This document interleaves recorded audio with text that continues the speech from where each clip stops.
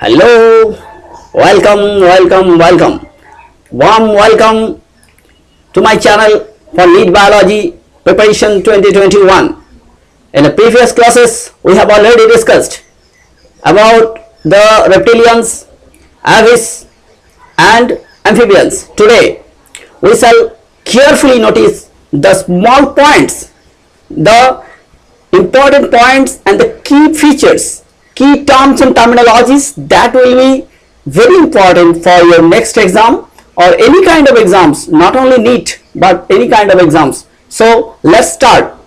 What are the main key features of these mammals? The class mammalians have important features of homeothermal. They are homeothermal. That is, their body temperature is maintained at constant temperature, whatever the external environmental temperature may be. This is due to the high rate of metabolism and another is due to their four chamber heart. However, the skin covered with hairs and these hairs is an exoskeleton and this exoskeleton helps them.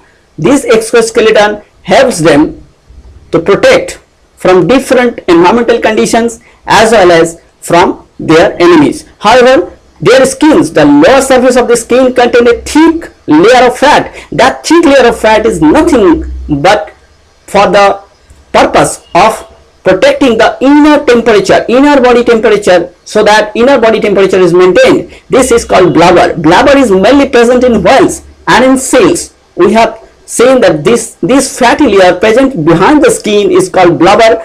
This is present in mostly in a high and thick condition in case of whales and seals. However, skin contains not only the skin not only contains the fatty layer and hairs but also skin contains here the skin skin contains the different kinds of glands like sebaceous gland, sudoriferous gland, ceruminous gland and mammary gland. What are the sebaceous gland? The oil gland present, the oily substance released from the uh, skin is called sebaceous gland. Sweat gland or sudoriferous gland or wax glands eat ceruminous gland. The cerumen is substance released from the ears as called cerumen and that ceruminous gland is released from the ears. And mammary gland mammary gland is a gland that we know all that's the milk ejecting gland of the mammary gland which contains highly nutritious proteins as well as the immunoglobulins for protection of the baby or fetus uh, sorry baby or newborns.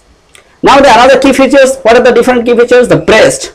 Mammals mammalian breasts are well developed and secrete milk which is immune boosters pinna or external pinna or external earlobe is present in all cases except in prototheria. In case of prototheria, these are absent.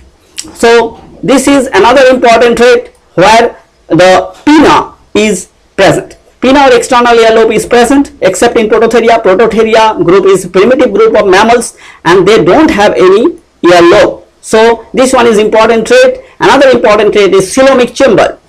They have a coelomic chamber. That coelomic chamber is four chambered coelomic chamber. In the previous cases, we have not uh, we have not seen such kind of four chambered coelomic cases. Four chambers are one for heart. Four chamber, four coelomic chambers, one for heart. First is the pericardial cavity. It is for heart. Another is second one is the pleural cavity. It is the pleural cavity for the lungs uh, lungs. The left and right lungs is the second and third and fourth is abdominal cavity for viscera. The viscera contains the uh, one coelomic chamber. So four coelomic chamber is there and out of the four coelomic chamber one is one coelomic chamber is for the heart and two coelomic chambers for left and right lungs and fourth one is for the abdominal cavity that contains the viscera. So these are the another important traits that is the four coelomic chambers are present, coelomic chambers. Another important trait is the ear. Ear has three parts. We have external, middle and inner layer and special capacity of the moving of the inner uh, pinna is called uh, is uh, normally found in case of carnivorous carnivorous animals uh, in some mammals they have a special capacity of voluntary movement of their pinna according to the source of the sound. So this is a specialized trait that is the pinna is present not only present but also they able to able to move them voluntarily. This one is most, mostly important trait. Another important trait is middle layer contain three ossicles. Middle, mid, middle, uh, middle ear, the middle ear contain three ossicles जो तीन हड्डियां होते हैं उसकी year के अंदर कान के अंदर और तीन हड्डियां incus Méliès stapes incus malleus and stapes there is a three different ossicles present in our ears. And most important trait is organ of Corti. We know that this is for hearing. Organ of Corti in a previous cases in case of birds it was present and this is a highly developed trait it contains several hairs like structures. That hair like structure actually nerves and that sense the ear vibrations. And according to the ear vibration these according to the vibration that that sensation is developed that what sound is actually generating. Intra-abdominal paired ovaries is present. Ovaries are paired this is a key feature. Two ovaries are present. Clitoris present in case of females. Clitoris are nothing but a reduced male penis part is the homologue of male penis present at the upper part of the vagina female vagina. It is clitoris. Clitoris is most sensitive organ so it is most important trait of females. The primates have the menstruation and uh, estrous cycle. Primates have menstruation cycle and non-primates have estrous cycle. We already will see in a class 12 that what is actually menstrual cycle, what how it is regulation, what are the different regulatory hormones present inside this. So these are very important. Embryo has amnion chorion.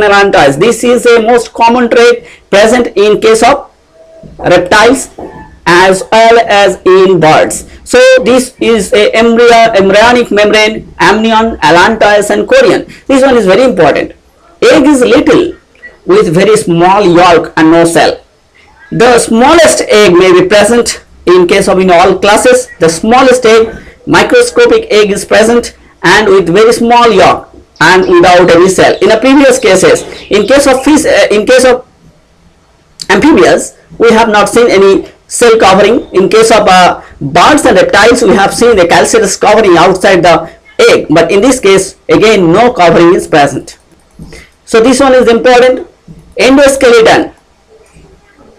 Endoskeleton, the uh, first of all, uh, our occipital condyle is dicondylic, lower jaw with single bone and dentary. And the lower jaw is made up of single bone is called dentary. Actually, lower, lower jaw is made up of single bone and that single bone present one side each. One side each that is is and the name is dentary. Hmm? So, lower jaw name is dentary. However, neck is seven cervical vertebrae is present inside the in the neck neck region seven cervical vertebrae present in men and one first and second vertebrae is called atlas and axis. They the first first and second uh, vertebrae present that are specialized for the our movement of the neck. Hmm. And our long bones contain Haversian canals. The Haversian canals is present in a long bones in long bones that is uh, the bones of ha hands and legs 3 to 5 sacral vertebrae together constitute the synsacrum this is important. Sacrum. Synsacrum is formed by 3 to 3 to 5 3 4 5 3 third fourth and fifth sacral vertebrae together constitute together join together and form synsacrum digestive system. If we see that the digestive system we have a buccal cavity with salivary gland highly developed salivary gland and we have two set of teeth. Two set of teeth. We have two set of teeth. Uh, one is temporary, another is permanent. Where the temporary set is present? No, after the birth, uh, up to the uh, age of 6 to 7, one type of teeth is there, that is the temporary teeth, another type of teeth is present, the permanent teeth. After that, after uh, 6 to 7 or 8 years age, then the uh, temporary, uh, temporary teeth will set and permanent teeth starts growing and it will uh, continue it will persist till death. So this one is very important buccal cavity with salivary gland and two sets of teeth. So why diphyodont? Diphyodont, diphyodont means two sets of teeth will develop in his lifetime. That is one set will set after 6 to 7 years and then again new set will develop. So this is a diphyodont we know it we have all faced this this type of uh, development of teeth. Teeth is heterodont and thecodont type. Thecodont is means that teeth is present in a socket structure and in remain in embedded condition. That is teeth remain in embedded condition in our jaws. This is called thecodont type and fourth type of uh, teeth is there incisor for cutting, canine for defense, molar, crushing and grinding, premolar for crushing and grinding and molar and premolar for crushing and grinding uh, towards the basal region and canine present incisor at the front the front side for biting and canine to the side. Side region this is called canine. Canine is for uh, preying is for uh, defense also. Anus is the opening of alimentary canal. Alimentary canal open to the anus. What are the different respiratory organ? Now this one is very important. Only by lungs only by lungs respire. Larynx with vocal cord is present sound box is there and glottis covered by epiglottis. Epiglottis is a membranous cartilaginous structure which covers during the swallowing. During the swallowing of the food or water eh, this epiglottis epiglottis covers the glottis so that no foods and water enter inside the lungs. Muscular diaphragm is present between the chest and abdomen. This is very important. This diaphragm is actually helped so much so help in respiration. In ex, uh, in expiration as well as in respiration. That is uh, uh, it is very important. In exhalation and inhalation during the exhalation inhalation purpose the diaphragm is most important. So it is present just uh, as a membranous structure present be, uh, between the chest and abdominal cavity. So only left our in a, in a heart only left aortic arch is present in heart only left aortic arch no conus arteriosus or sinus venosus is present. No extra chamber is present in heart. Only sinus venosus and conus arteries is present. Only left aortic arch is present in heart as an extra arch. So rbc is enucleated in this case. In a previous case in reptiles we have seen the clear nucleus or nucleated rbc but in this case non-nucleated rbc is there. Largest in elephant and smallest in there among the rbcs among the all animals mammals have a very smallest rbc mammals rbc size is very smallest. And among the mammals largest uh, uh, rbc is present in the elephant and smallest is present in musk deer. So you have to remember slightly here. Excretory system kidney is metanephric type. Kidney is metanephric type. And ureotelism all you all produce urea in through their urea cycle metabolism. We will read it later that is the urea cycle is running. So urea is developed and released through the urine. Urinary bladder is present. Urine excretory material. Nervous system is 12 pair of cranial nerves is there. 12 pairs of cranial nerves in a avis we have also seen the 12 pairs of cranial nerves well developed cerebrum and cerebellum. Corpus callosum is present. The two two halves of the cerebrum. Two halves of the cerebrum is joined by the corpus callosum. Optic lobes small and four in number. Corpora quadrigemina. Corpora quadrigemina is called optic lobes. They are four in number. So these are the different uh, nervous system and the reproductive structure. Reproductive structure may contain the penis and testis may be present inside the uh, body cavity or outside. That is the intra-abdominal or interabdominal. When it is present in outside the body it is normally present in outside body but in some cases in protherians in whales and dolphins the testis is present inside the abdomen. This is a most important trait. That is testis present inside the body. And most primitive trait also. Protherians all have testes inside the body. Sexual dimorphism present that is the male and female is separately identifiable all birth child all are viviparous. No one oviparous except monotremates monotremates are oviparous prototherians. So placenta is present. Placenta is a connection between the baby and mother. The placenta is present and provide nutrition to the fetus. Classification of mammal if you will see that a very important classification here mammals are again subdivided into all the mammals class is subdivided into two subclasses. First one is protheria prototheria another is theria. Theria is again subdivided into two infraclass is a metatheria and eutheria so let's start with prototheria what are the different traits of the prototheria prototheria egg-laying mammals. This one is very important. Egg-laying mammals, Prototheria. Why egg-laying mammals? They have no external pinna. They have no external pinna. All mammals have external pinna, but they don't have any external pinna. These Prototherians. Young animals with teeth, but maturity at the maturity their teeth will less. They are teethless, toothless. So this one is very important. At the maturity, at the maturity their teeth will disappear, but at the young condition their teeth will be present. So this one is very important. Cloaca present. Cloaca present. This is a uh, this is a traits of reptiles. This is a traits of reptiles. This is the clo- cloaca is present, not anus. No nipple in mammary gland. A mammary gland contain no nipples. Hmm. This one is very important trait. Ah, mammary gland is present but no nipple. Nipple is not well developed. Testes remain, remain inside the abdomen. This is another primitive traits and they laying eggs. Another most important primitive trait. This is these are the these members of these subclass are the members of the subclass are the actually the connecting link between reptilians and mammalians. Most are the living fossils and connecting link between reptilian and mammalia mainly found in Australia and nearby island, island mainly duckbill platypus and Echidna, uh, Tachyglossus, the spiny anteater. Hmm? Ornithorhynchus, these are duckbill platypus, this is most important and these are the examples are very very important, you have to understand it properly and um, characters of theria. Now the theria, theria are again subdivided into metatheria and protheria.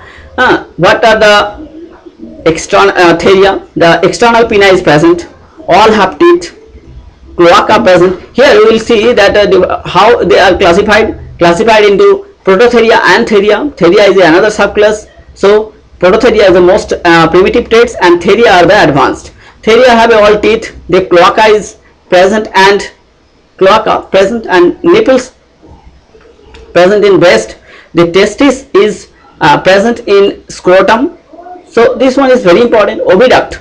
Oviduct uh, open. Uh, oviduct open. True vagina is present. Huh. Open to open to. Actually here the mistake is present. Oviduct open to vagina. It will uh, uh, it will be oviduct present through vagina. Open to vagina. This will be occurred. So again we will see here the what are actually the traits of the theria. All have teeth. Cloaca present. Nipples present cloaca is absent this one is mistakenly typed cloaca is absent cloaca is absent cloaca is not present here cloaca is absent. So you have to take note properly. Cloaca is not present here. Nipple is present in breast. The testis is present in the scrotum. This is a highly developed trait. Oviduct open to, uh, to the this are through no, no open to vagina. This is a uh, typing mistake. All birth child. These are the different traits of theria. Characters of metatheria pouch mammals. That called pouch mammals. Pouch mammals means they have a small uh, pouch. They have a skin pouch outside the body so that the baby present inside. After birth uh, in females marsupials marsupium sac is present. This sac is called marsupium. In case of kangaroo we have seen that newborn is present in the uh, uh, attached towards uh, to her uh, to its mother's body and uh, present inside the pouch. This is very important. Epipubic bone. This is called marsupium bone is attached to the pubic. Pairs of vagina. This one is important trait. That is metatherians have pairs of vagina and uterus. This is most important. No placenta is there. Another important trait no placenta in metatheria gestation period is too short but lactation period is too long. Found in australian nearby island example is kangaroo. So this is a no placenta. Gestation period is very short and lactation period long and pair of vagina and uterus. This is another important trait. The characters of eutheria are no marsupium is there. Eutheria, we are actually under eutherias. Hmm? Well developed breast with nipple. No epipubic bone. No epipubic bone is there. No cloaca is there. Uh, in our previous cases in theria there was no cloaca. So theria's two uh, infraclasses there will also no cloaca testis present inside scrotum, testis present inside scrotum, one vagina with separate urinary and genitalia. This is a most important trait. That is one vagina, single vagina is present and urinary and genitalia tract, tract is different. That is for passing of urine it is different and for passing of uh, release of egg or sperms uh, this is a separate opening. They all birth child placenta is present gestation period is too long gestation period is too long examples of their uh, the different orders of the prime uh, mammals are these are the different orders. Primates hmm, perissodactyla artiodactyla. These are the different examples i have given. Cetacea uh, chiroptera vampire carnivora rodentia uh, lagomorpha here and these are uh, edent edentata Hmm, edentata is a sloth sloth. So and insectivora shrew mole talpa. These are insectivora. So these are the overall one mistake has been done here is that i have mentioned cloaca in theria cloaca is not present in theria so this is a mistaken i i will provide you the pdf i will provide you the pdf and uh, where you can download it properly and uh, take note clearly. So just share my videos and subscribe the channel so that most uh, more people and you can get notification whenever it will be available. Thank you very much. Take proper